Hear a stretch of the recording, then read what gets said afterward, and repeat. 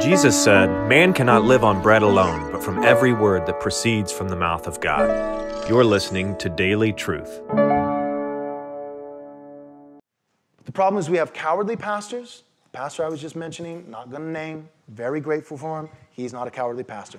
But I'm talking about other guys now.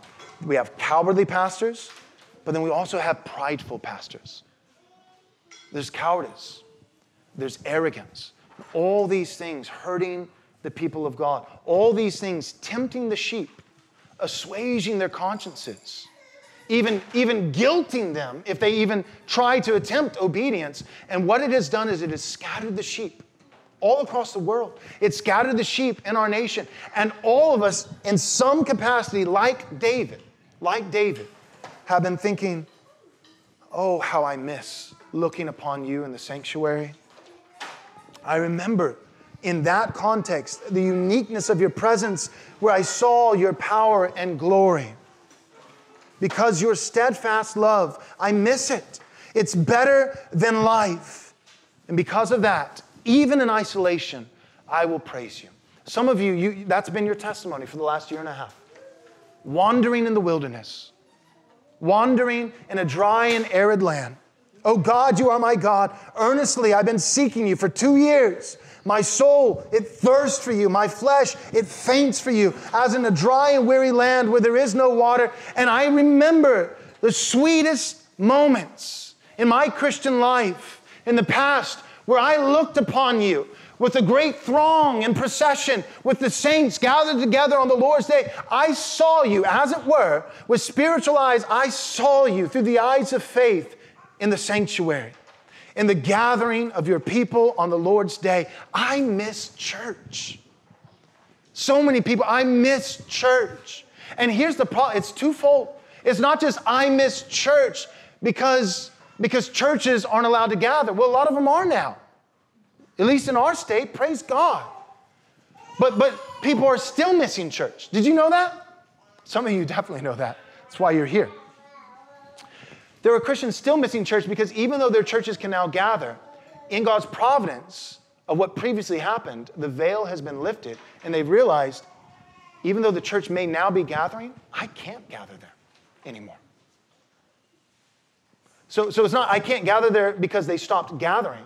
But even now that they've resumed, I still can't gather there because, because their complicity and their horrible exegesis and twisting scripture to hammer Christians who had courage over the head and guilt them and chastise them for biblical courage, that their actions, their rhetoric, their decisions, all of it. Now, I, I cannot, in, in clear conscience before the Lord, gather where I used to gather.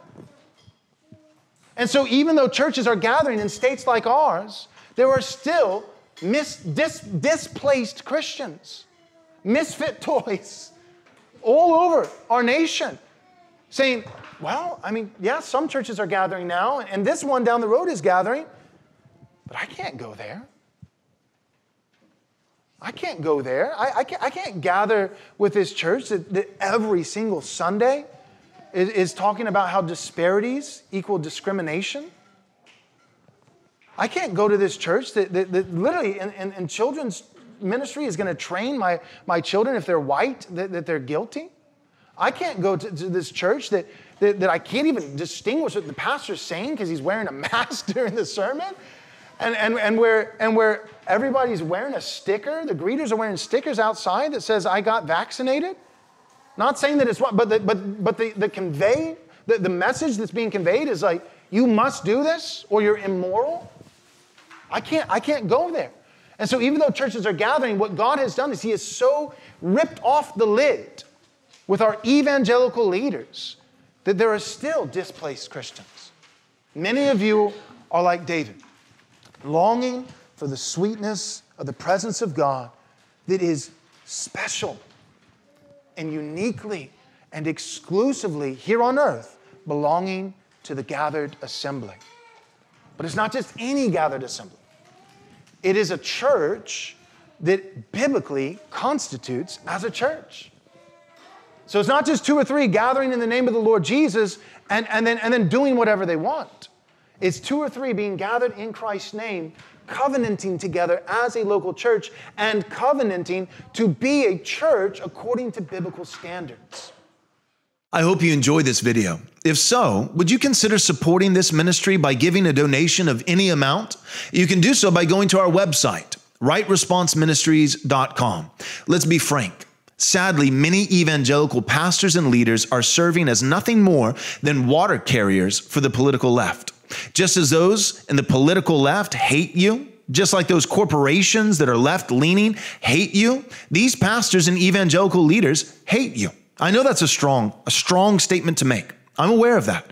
But it's true. They don't care about your personal liberty. They don't care about your freedom. They want you to love your neighbor at the expense of biblical truth, even if it means bearing false witness. That's not us. We're different.